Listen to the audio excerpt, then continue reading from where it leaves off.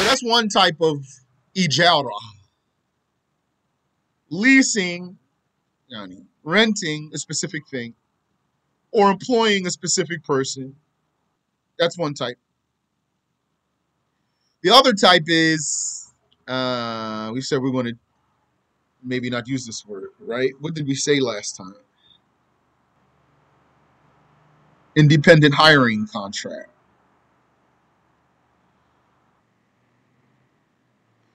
Or should we go for the more literal wording of the Arabic? I'm trying to find something that's like what they say in English. So in Arabic, it's called ijaratu dhimma.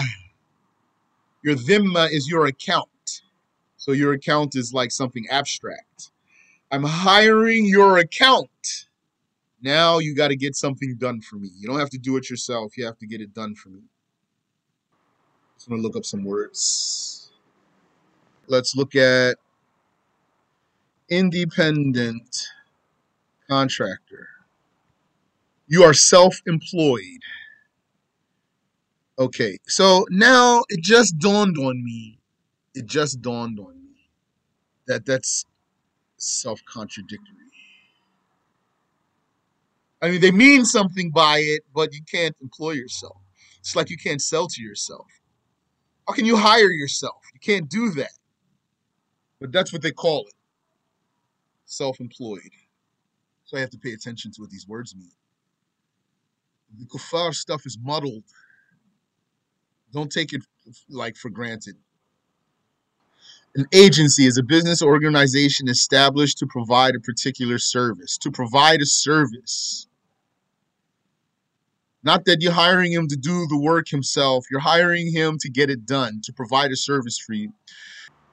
Hope you're being patient with me as I look through these words here.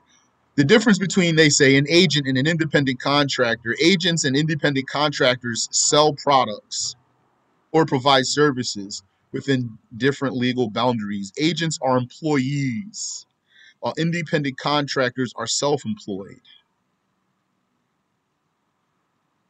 The more I think about this, the more it bothers me. Because no matter what, if if if if you're employed, that means somebody hired you. So how are you going to hire yourself?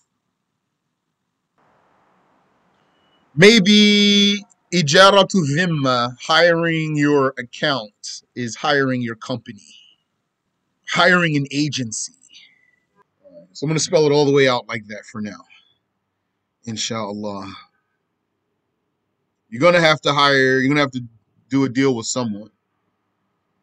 It's going to be an owner you can only do a deal with an owner or an authorized person. I'm talking about now you want to do this second hiring. So who are you going to be doing your deal with? You can only do a deal with an owner or an authorized person. So that's all that matters to you. So we're hiring a company here or hiring someone who has a company, for example, because yeah, he's going to get the job done. For an upfront payment, it has to be upfront or else it will be a debt for a debt.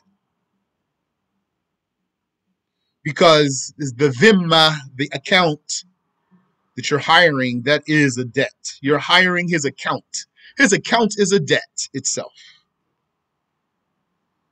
So since you're hiring his account, you have to pay him up front, or else it'll be a debt for a debt.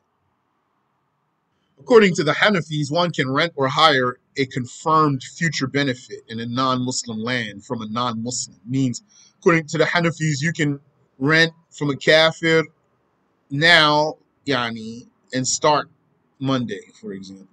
You didn't start now. In the Shafi'i school, as you know, a hiring or a rental is immediate, like a sale. When you buy something, it doesn't become yours later. Becomes yours when you buy it at the time of the contract. A rental becomes yours at the time of the contract. According to the Hanafis, one can rent or hire a confirmed future benefit in a non Muslim land from a non Muslim. If one rented or hired for a known amount, not a specific item, Yani, this is your salary we're talking about. Your salary is a known amount and not a specific item. What does that mean? It means if I'm going to pay you $5,000. That's a known amount. If I'm going to pay you this heap of gold, that's a specific item. Or this barrel of wheat, that's your salary. You finish the job and take your salary. That's valid. Or a standard barrel of wheat. That's not a specific item, that's a known amount. That's valid. So you can be hired for a known amount. And then you get paid anything that fulfills that description. If one rented or hired for a known amount, not a specific item, that is valid even if he cannot pay immediately. I think that's clear. You can't pay me now, you owe me. I'll do the work and you owe me. Or I'll pay you now, you're going to do the work when I call you. But if he did so for a specific item, if the salary was a specific item, then like a sale, then what? It must be seen. And he must be able to pay it immediately. Not that he has to pay it immediately, he has to be able to pay it immediately.